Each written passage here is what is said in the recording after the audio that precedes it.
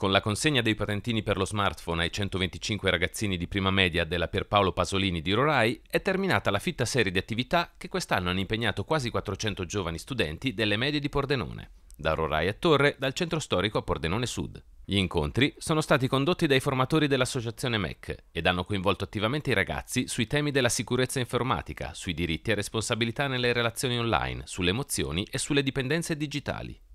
Alcune lezioni sono state riservate anche ai genitori per fargli conoscere il mondo in cui vivono i loro figli, oltre ai rischi che questi possono correre in rete.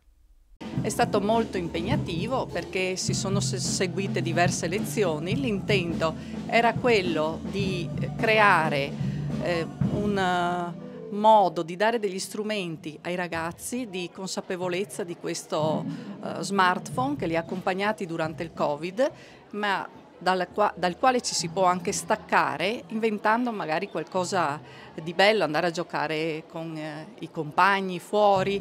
Eh, l'idea è quella di rendere questi ragazzi consapevoli, critici nei confronti di questo strumento, che è molto utile e molto, di cui è molto importante conoscere effettivamente i diversi aspetti.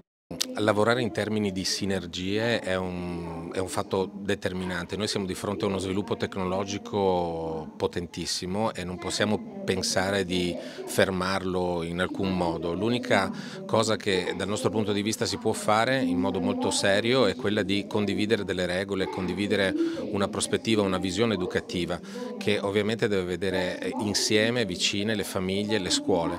Ecco perché questi progetti sono importanti, perché chiaramente noi forniamo ai ragazzi tutta una serie di competenze, di conoscenze, ma chiediamo un forte eh, contributo, un forte impegno anche da parte della famiglia, perché poi alla fine eh, sono loro quelli che a casa seguono i ragazzi. Quindi un progetto come questo è un progetto che vede molto vicine scuola e famiglia in quella che deve essere un'alleanza educativa imprescindibile oggi come oggi.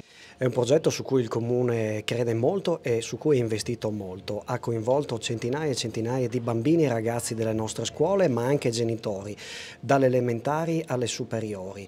Un progetto fondamentale perché? Perché è stata un'iniziativa silenziosa e preziosa, utile per fare in modo che il tessuto sociale e giovanile della nostra eh, città eh, sia migliore. Gli interventi sono stati tanti, ma ci siamo concentrati sull'uso del telefonino perché è quello da cui passa tutto il mondo e passano anche gli atti di bullismo e di cyberbullismo, quindi è importante eh, imparare a usarlo consapevolmente e responsabilmente e genitori sanno di cosa parlo.